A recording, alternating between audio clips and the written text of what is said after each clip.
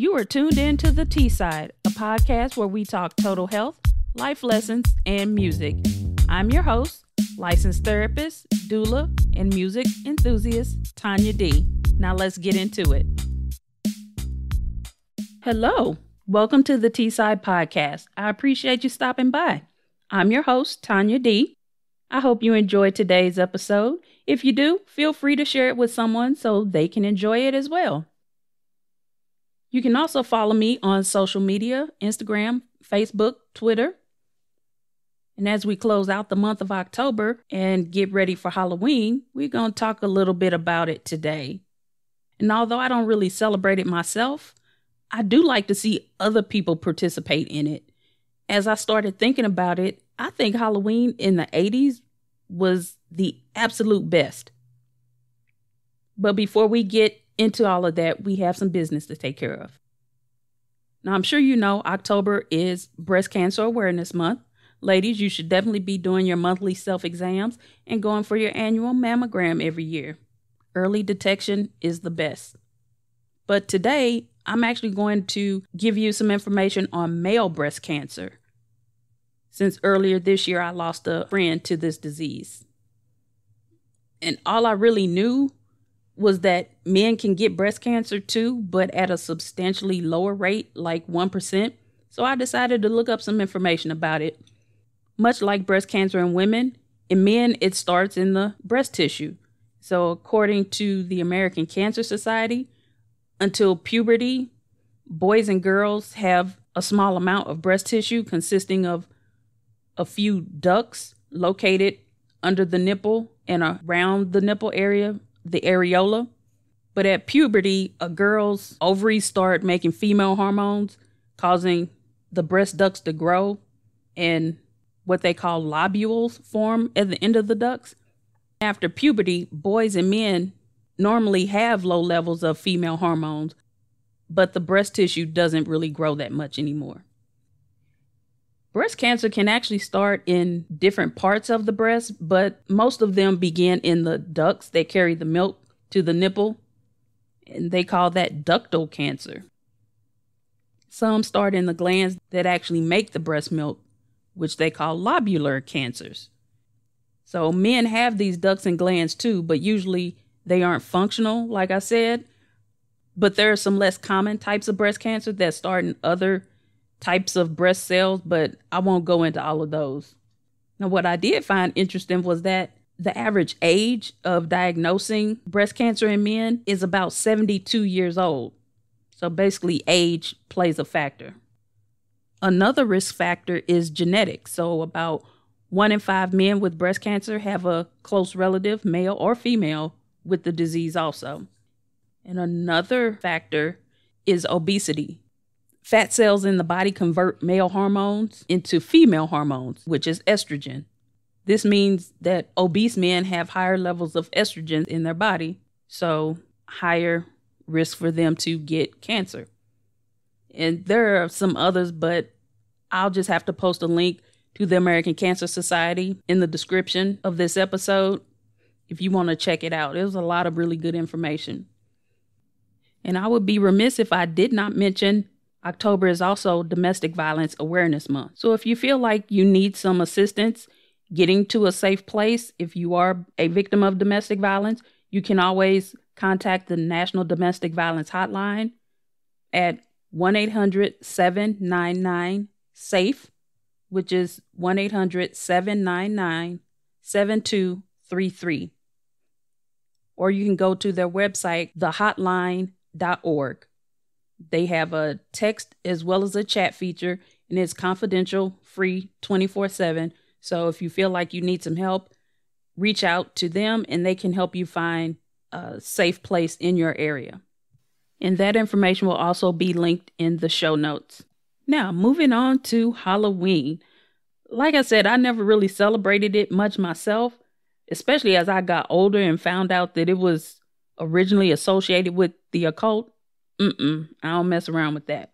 So you won't really see me posting a lot of stuff about Halloween on any of my pages just because I don't really celebrate it one way or the other. Now, that doesn't mean that I don't like watching other people enjoy Halloween. I think Halloween in the 80s, though, like I said earlier, was actually so much fun. It was the best. Although it came out back in the 60s, 1966, I believe, watching It's the Great Pumpkin, Charlie Brown was a staple and was always fun. And remember when we could take snacks to school? We had Halloween parties. Somebody's parents would bring cupcakes and, you know, we'd all share candy and dress up in costumes. You know, that was back before everybody was allergic to everything. You can't even bring a peanut to school now. Everybody's got a peanut allergy. And like I said, I never really liked dressing up. I if I recall correctly, the only costume I had was Wonder Woman. I might have worn it 2 years in a row. I don't know. But what I do remember is wearing that flimsy plastic outfit that was hot and that doggone hard plastic mask that barely had holes in it for me to breathe. I mean, really, those tiny holes for the nostrils in the mouth, and the eyes. And it was just horrible. Of all the dangerous things Gen X kids had to deal with growing up, I think suffocation in that mask might be at the top of my list. I hated those things. But, you know, the good old days. The only other time I recall dressing up was back when I worked for the state and my team dressed up like the cast from ER. I was Nurse Abby and wore purple scrubs that I already had at home. So that worked great. I didn't even have to get dressed to go to work for real that day. Now, let me tell you what I did not like trick or treating because I don't like having to ask for stuff. I don't like selling stuff, none of that. So I just didn't feel like I should have to do a trick in order for you to give me candy. I figured either you were going to give it to me or you weren't. Truth be told, I figured I might as well just stay at home and eat the candy out of the bowl that we used to give out to the neighbors when they came by. That made so much more sense to me. But you know, I have to shake my head at myself. Lord, I was a different kind of child. I actually like giving out the candy to the kids that came by. I like seeing the costumes. You know, now I did always give a side eye to the 15 year old kids, usually a boy in the neighborhood, who came by wearing some stupid mask with a pillowcase for his trick or treat bag. Boy, if you don't get your old tail out of here. But for real, I don't know. What is the age limit for trick or treating? If you taking your little brother or sister, okay, that's fine. Just get some of theirs. If somebody's nice, they might give you a couple pieces too, but nah, stop it. But what was your favorite candy during Halloween? Let me know. I usually like the chocolate candy with the nuts in it. Whether it was a Reese's peanut butter cup, Snickers, Mr. Goodbar, Baby Ruth. But I did also like the Twizzlers and that stale bubble gum that was stale when you got it and you chewed it for two minutes and then the flavor was gone. That was always good just because. Because when you're a kid and you're not supposed to have gum and you get some that, it was like a cool thing. I never liked Bit-O-Honey though. I dated a guy once who loved Bit-O-Honey. I should have known better. That wasn't gonna work out. Who eats Bit-O-Honey? Maybe you do, but to each his own because they still make it, so somebody's eating it, right? The 80s also produced some of the best and most iconic movies and characters and songs associated with Halloween, even to this day. Movies like Pet Sematary, Child's Play, and Chucky, Poltergeist, and Looking to the Light, Carol Anne, Fright Night, Beetlejuice, and one of me and my brother's favorite, Creepshow. And then we can't forget the trifecta of Michael Myers, Jason Voorhees, and Freddy Krueger. And there's a lot more movies, but those are the ones that just immediately came to my mind. And speaking of the trifecta, they had some of the most iconic sound effects connected to them as well. You just hear the sound and you know what movie it is or what character is associated with. Which brings me to some of the songs and some interesting facts that I found out about them. And although it's not necessarily as well known as other iconic Halloween songs, but still cool nonetheless, and goes back to my 80s hip hop roots, was Nightmare on My Street by Jazzy Jeff and the Fresh Prince, which was on their second album, the triple platinum He's the DJ, I'm the rapper. It reached number 15 on the Billboard Hot 100 charts and number 9 on the Billboard Hot Black Singles. The song was released as a single on August 1st, 1988.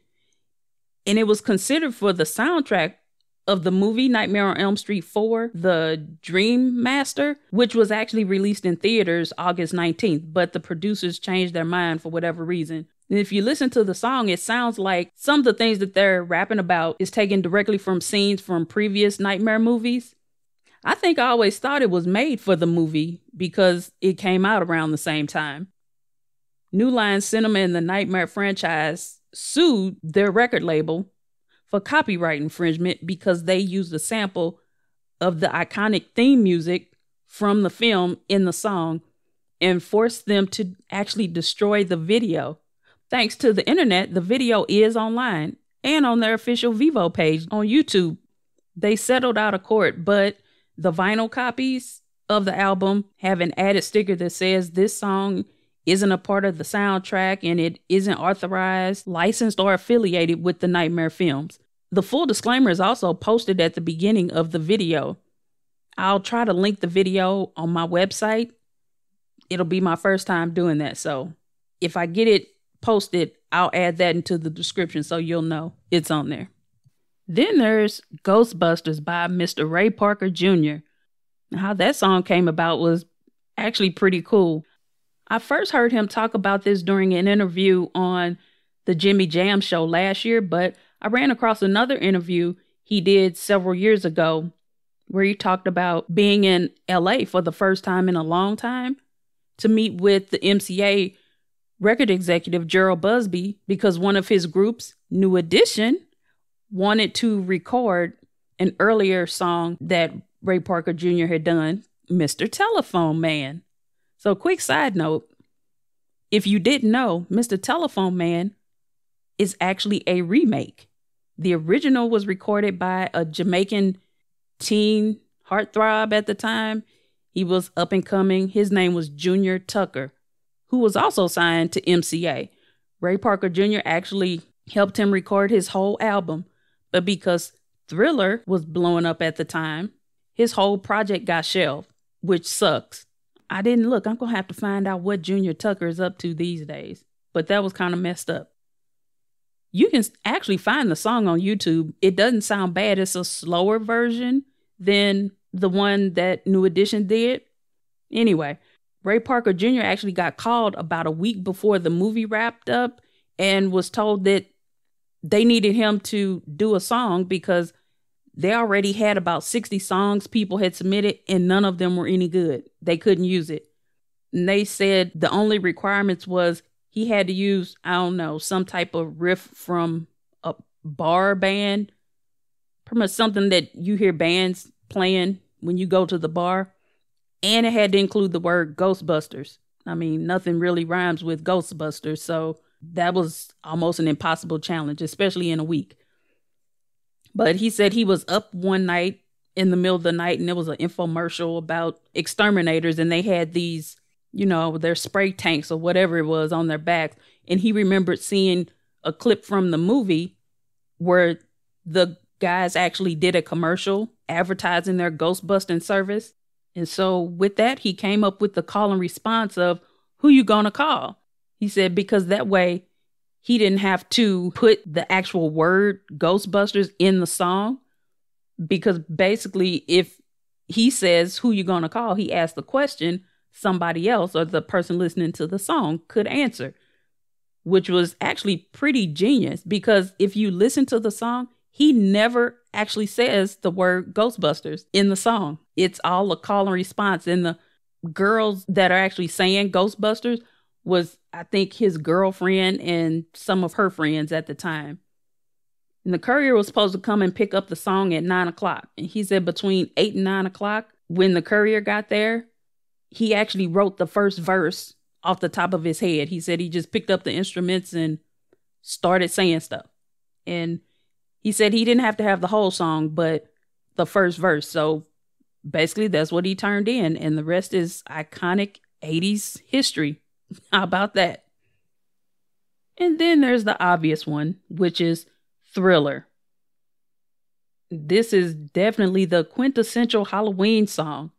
This song changed history in more ways than one. It all of a sudden became iconic for Halloween, changed the history of videos, all of that. I remember that video was hyped up so much, and it definitely didn't disappoint. I remember literally standing in front of the TV the entire time that it was on, just mesmerized because it wasn't just a video, it was a mini movie, which was directed by John Landis. It was actually 13 minutes long. And what's crazy, I don't remember this, but the song was actually released December 2nd, 1983. I don't know. It wasn't even, re- again, it wasn't even associated with Halloween. It just became associated with it. But what's crazy, and I didn't even realize this, it never actually reached number one on the charts. It only reached number four on the Billboard Hot 100 and number three on the Hot R&B slash hip hop songs. Now, after he died in 2009, it resurfaced on the charts again, but it still only reached number two on the Hot Digital Songs.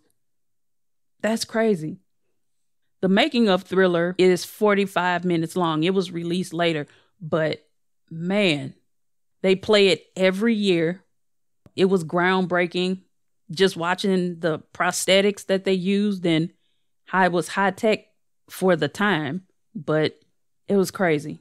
And so, again, although these songs may not have originally been associated with Halloween, they have definitely become synonymous with it.